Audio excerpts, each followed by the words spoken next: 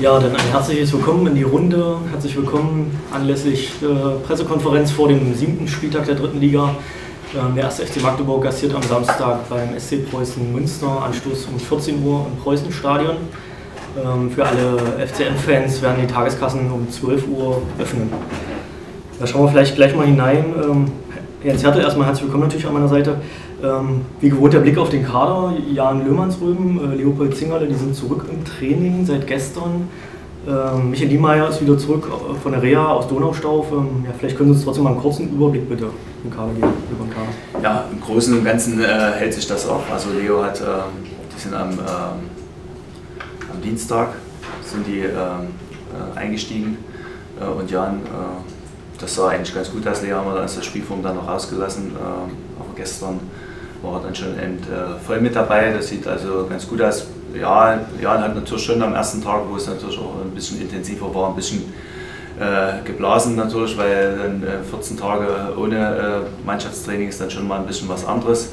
Aber äh, insgesamt hat er die Belastung ganz gut weggesteckt. Ein bisschen Sorgen macht uns im Moment Felix Schiller, der dann, den wir gestern äh, rausnehmen mussten. Der hatte äh, also schon von Anfang an ein bisschen mit seinem Rücken und mit der Hüfte ein, ein paar Probleme, die, ja, die er ja grundsätzlich immer mal wieder hat. Und, aber jetzt durch die intensive Belastung der letzten Wochen, dass er jetzt wieder zutage getreten ist, auch eigentlich völlig verständlich nach äh, so einer langen Pause, dass dann sich der Körper dann, dann auch mal meldet. Der wird aber heute erstmal trainieren und dann müssen wir mal entscheiden, wie wir mit ihm dann verfahren.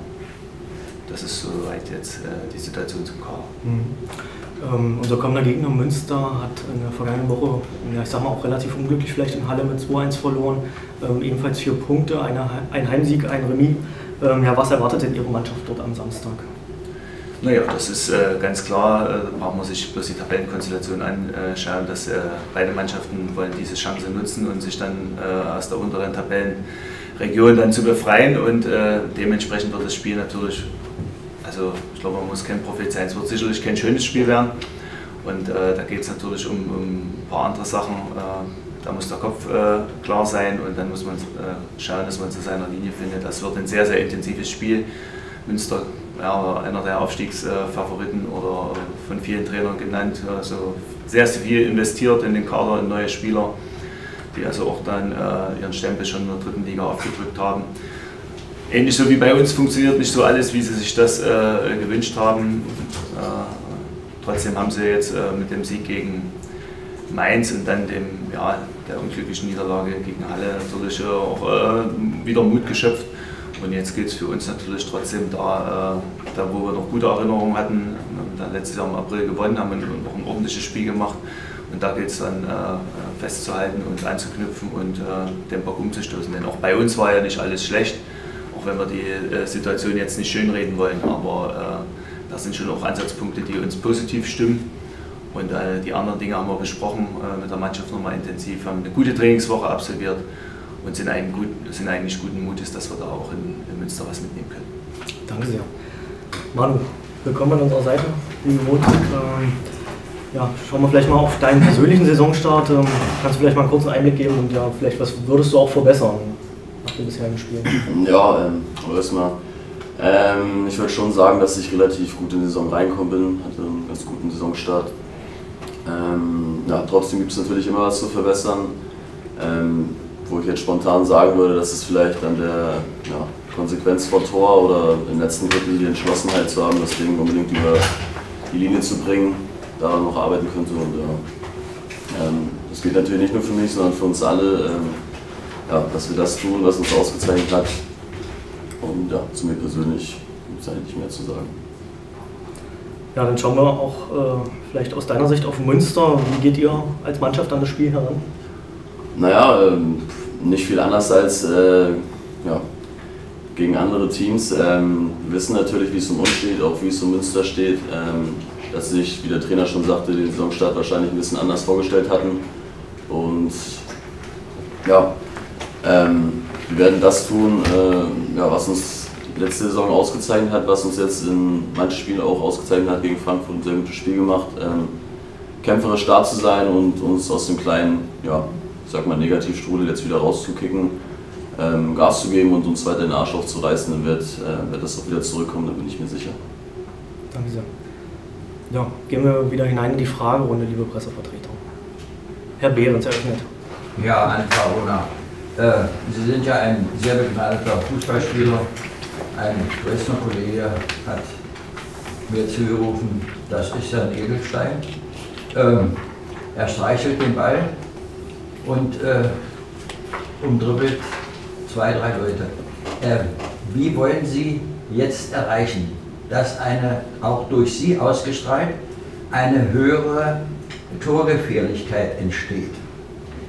Äh, welche Position ist Ihnen denn besonders zugewiesen worden, taktisch, durch Ihren Trainer? Ich frage jetzt mal nicht den Trainer, sondern haben Sie da eine bestimmte taktische Marschroute? Hm, naja, ich bin ja jetzt auch schon mehr als ein Jahr hier. Ich denke mir schon, dass ich weiß, was ich zu tun habe, äh, ob ich jetzt außen spiele oder ob ich vorne spiele. Ähm, ja, da weiß ich natürlich schon Bescheid. Da hat der Trainer mich natürlich auch ein bisschen äh, gecoacht die letzten ja, Monate, sag ich mal. Ähm, ja, und ich denke mal anhand ja, meiner Dribblings und so weiß ich schon, wie ich der Mannschaft zu helfen habe. Äh, natürlich sind es in solchen Situationen immer ein bisschen schwierig, äh, ja, dann über, äh, ja, weiß nicht, wie soll ich sagen. Ähm, na, ich fange einfach nochmal neu an. ähm, ich weiß natürlich, wie ich der Mannschaft zu helfen habe und hoffe natürlich, dass ich das einbringen kann mit meinen Dribblings und vielleicht den Kopf am Ende nochmal oben zu haben, den richtigen Pass zu spielen. Ähm. Mir ist aufgefallen, dass Sie teilweise schneller sind mit dem Ball als Ihr Gegenspieler, meistens im Verteidigerraum. Äh, wie können Sie das noch besser nutzen? In Verbindung Dribbling, zwei ausschalten, schnell äh, in Richtung Tor. Wie können Sie das noch besser nutzen? Brauchen Sie da noch mehr Freiräume oder wie? Hm, na, wie kann ich das besser nutzen? Das ist eine gute Frage. Äh, in den Situationen ist es halt immer gegeben, ob ich das Richtige tue oder nicht, da auch mal abzuspielen. Ich meine, wenn ich zwei, wie Sie sagen, zwei ausgedribbelt habe, dann sollte ich schon äh, irgendwann mal den Kopf oben, zu, äh, oben haben. Ähm, ja, da den richtigen Pass dann zu spielen, das ist halt das Wichtige, oder den Abschluss zu finden. So. Ja, das werden wir dann sehen. Ja, toi, toi, toi. Danke. Wie schnell sind Sie denn über 100 Meter oder 60 Wissen Sie das zufällig? ne, das weiß ich nicht. Über 100 Meter, ich keine Ahnung. Danke. Sehr schön. Die anderen Kollegen vielleicht einer Frage. Thomas ähm, Schuss. Eine Frage vielleicht an beide. Ähm, Manuel hat es gerade beschifft und beschrieben in solchen Situationen. Liga 3 Online hat es Anfang der Woche Krise genannt. Frage ich zuerst Herrn Hertel, ist es schon eine Krise, die sportliche Situation, oder wie würden Sie konkret die Situation beschreiben? Das ist, glaube ich, jetzt unabhängig, wie ich das jetzt äh, benenne. Wir wissen, dass wir weniger Punkte haben, als wir haben sollten. Und, äh, und wissen natürlich, dass wir gefordert sind. Ja, jetzt stehen wir unterm Strich. Das sagt alles. Wir brauchen nur auf die Tabelle schauen, äh, was wir dann für Worte äh, benutzen oder was dann die, die, die Medien äh, daraus machen. Das ist, wir müssen halt unsere Arbeit machen. Also, wir, da sind wir guten Mutes. Also wir äh, denken, dass wir den Turnaround schaffen können das sind Kleinigkeiten, die ähm, äh, entscheiden im Fußball. Die sind in den letzten Spielen oft immer so im, im, ja, im letzten Moment gegen uns gelaufen. Und da gilt es natürlich dann eben stabil zu sein, äh, konzentriert über 90 Minuten und dann natürlich auch die Fehler, die der Gegner macht, auch in jedem Spiel macht, dann einfach auch zu nutzen. Und wir hatten äh, in puncto Torgefahr, wir hatten, ich glaube, in jedem Spiel unsere Chancen. Es war nie so, dass wir chancenlos waren. Wir haben sie dann halt nicht reingemacht. Also das ist dann eine mangelnde Chancenauswertung, aber jetzt nicht vielleicht mangelnde Torgefahr. Und da gilt es natürlich jetzt den Hebel anzusetzen. Und in der Woche hat die Mannschaft auch sehr konzentriert gearbeitet. Wir haben nochmal ein paar Sachen aufgearbeitet, die uns so in den letzten Wochen aufgefallen sind, dass wir vielleicht hier und da auch in Mainz hätten noch das eine oder andere an, an Torchancen mehr kreieren können, wenn wir halt den richtigen Laufweg haben. Denn das war jetzt äh, der Ansatz für diese Woche. Und jetzt äh, fahren wir nach Münster natürlich, äh, wissen, dass das ein Drecksspiel wird und wollen das aber äh, ziehen. Das ist jetzt das, was am Ende zählt. Es geht jetzt nicht darum, äh, unbedingt schön zu spielen, sondern jetzt geht es darum, äh, Punkte zu holen.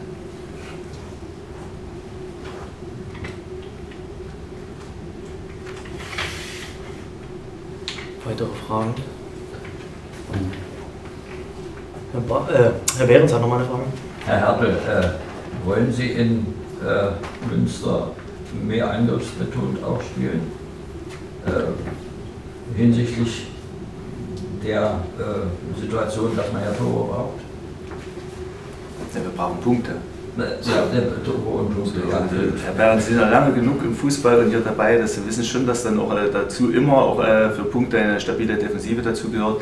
Und wir müssen halt die Balance finden. Sowohl müssen wir äh, Torchancen rausspielen, Tore versuchen zu machen, aber das gilt natürlich auch, keine reinzubekommen. Und dafür müssen wir halt die richtige Balance finden. Wir können jetzt nicht sagen, wir spielen jetzt eben mit zehn Stürmern. Ja, dann, dann, verlieren wir eben äh, 6-10 oder so. Das ist dann natürlich nicht das, was wir, was wir brauchen. Also wir werden mutig auftreten, das kann ich Ihnen versprechen. Und äh, alles andere wird das Spiel zeigen. Wir brauchen jetzt hier auch nicht äh, groß rumpalauern. Am Ende müssen wir am Sonnabend 14 Uhr in Münster, wenn das Ding angegriffen wird, müssen wir einfach da sein und äh, unsere Leistung auf den, auf den Punkt bringen. Ja, danke. Oliver Leistung. Ähm, Herr Hertel, was können Sie denn als Trainer vielleicht auch konkret tun, wenn Sie sagen, also, das Spiel war ja nicht schlecht und die Chancen waren auch da, aber einerseits um diese Konzentrationsfehler in der Abwehr abzustellen, aber eben auch um vorm Tor diese Konzentration nochmal zu erhöhen, dass dann der Ball auch tatsächlich reingeht. Naja, man nutzt natürlich die Möglichkeiten, die, die ein Trainer hat. Das sind also ein paar, paar Tools, eins ist Videos, erstmal generell aufzuzeigen, ähm, aus dem letzten Spiel, wo wir hätten Dinge besser machen können, die gar nicht so kompliziert gewesen wären. Und dann natürlich versuchen im Training äh, Formen zu finden, wo man äh, vermehrt in diese Situation kommt, um diese äh, Läufe zu machen, um diese Abschlüsse eben zu haben und auch diese Konzentration. Und dann geht es mal vom Einfachen los und dann wird es immer schwieriger und am Ende wird es dann eben, im Wettspielform trainiert. Und da ist es klar, es ist dann immer schwerer, dann Tore zu erzielen. Aber das sind so die Handhabe, die sein Trainer hat. Also, und dann natürlich klar immer wieder auch äh, zeigen, dass wir Dinge eben schon besser gemacht haben und äh, zu, sehen, dass dann äh, auch Dinge ins Tor gehen können. Oder Bälle ins Tor gehen. Guido Henscher. Muss man vielleicht auch wieder zurück zu dem sag mal, einfachen Erfolgsfußball. Äh, mir erinnert es so ein bisschen an die Situation vor zwei Jahren, dass man dann so ein bisschen versucht hat, dann noch sag mal, spielerisch den nächsten Schritt zu gehen, wo man dann gemerkt hat, mir ist vielleicht nicht ganz so das Richtige, dass man vielleicht einfach wieder sagt, komm, konsequent über die Flügel, Flanke rein. Wir haben Christian Beck, wir haben einen Marius sowieso. Äh, wir spielen einfach simple Art von Fußball. Äh, das können wir. Ich denke nicht, dass wir unser, unser Spiel grundsätzlich umgestellt haben. Und das haben wir auch von Anfang an gesagt, dass wir es eigentlich nicht wollen. Diese Stärken wollten wir unbedingt behalten. Klar äh, haben wir natürlich auch im letzten Jahr so ein paar Defizite gesehen, wo wir gesagt haben, das, das können und das wollen wir besser machen. Ja, aber ich glaube nicht, oder ich glaube nicht, dass wir da jetzt äh, wahnsinnig irgendwo äh, an so vielen Stellenschrauben gedreht haben und äh, das Spiel jetzt komplett anders ist. Also ich glaube schon, wir haben eine Mischung aus schnellen Umschalten, langen Bällen, auch mal flachen Bällen und, äh, und, und, Standardsituationen, die für uns eben auch immer äh, wichtig sind, um Tore zu erzielen. Also daran würde ich es nicht festmachen, dass wir jetzt äh, komplett irgendwie versuchen, was anderes zu machen, als das, was uns im letzten Jahr stark gemacht hat. Gibt es noch weitere Fragen? Herr Bartlitz, bitte. Äh, haben Sie denn im Angriff, weil wir jetzt alle hier meist über Angriff reden, noch personelle Alternativen? Jetzt sagen wir die Namen Düker, Exlacher. Sind das für Sie, auch für den Sonnabend, ähm, Varianten, die Sie zumindest im Kopf haben? Oder scheinen die von vornherein mangels sagen wir mal, Qualität der beiden genannten oder vielleicht auch anderer aus? Also erstmal generell würde ich das jetzt äh, so, nie äh, bezeichnen, mangels Qualität. Das habe ich auch wieder. Ja, also die, die Frage ist, jeder hat natürlich eine Chance. Und äh, trotzdem ist es ja je, gerade jetzt in so einer Phase ähm, für einen Trainer natürlich wichtig, inwieweit, inwieweit äh, verändere ich Dinge. Ist es schon so weit, dass ich äh, radikal äh, den Kader umbastle, dann geht es schief, dann sagen alle, boah, wie kann er denn das machen? Oder geht es darum, jetzt vielleicht hier und da eine Korrektur vorzunehmen? Und, ähm, und zu sagen, okay, ich, ich, bin jetzt moderat, weil es war ja jetzt auch keine Katastrophenleistung. Klar, wenn, jetzt, wenn du jetzt eine, eine total schlechte Leistung ablieferst, dann äh, hat natürlich der Trainer und auch dann auch die Spieler, die gespielt haben, nicht so viele Argumente, eben auch äh, eine neue Chance zu bekommen. Aber wenn man jetzt sagt, das waren auch ein paar Sachen waren in Ordnung, wir haben halt in ein, zwei Situationen äh, die, ja, die Situation nicht gut gelöst oder in, in mehr als zwei Situationen und äh, dann äh, wechselt sich alles radikal. Und das ist äh, jetzt für uns auch die spannende Frage. Inwieweit sind wir jetzt bereit, äh, ein paar Sachen eben anzupassen und inwieweit lassen wir Dinge, äh, um jetzt den Spielern natürlich auch das Vertrauen zu geben, äh, was natürlich auch ein Spieler braucht, um dann ähm, Top-Leistung zu bringen.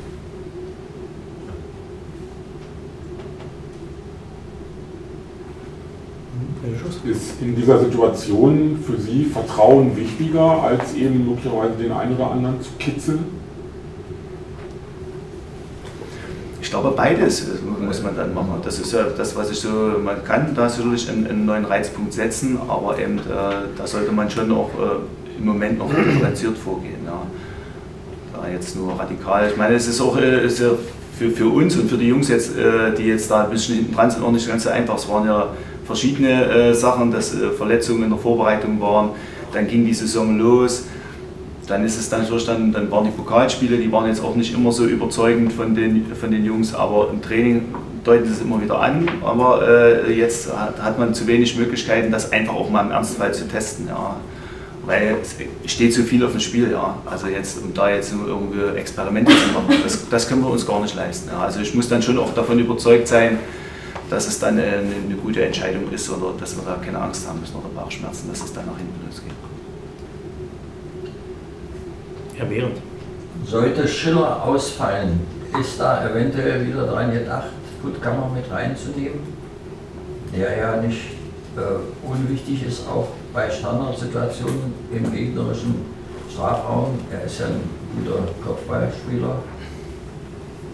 Ja, da gibt es mehrere Optionen, die wir dann äh, äh dann Städtenputtkammer ist eine Option davon, aber wir können auch äh, dann die, die Kette hinten anders formieren. Also. Gut, dann setzen wir einen Schlusspunkt für heute. Vielen lieben Dank für Ihr Kommen und äh, einen guten Auftakt unserer Mannschaft in die englische Woche. Danke.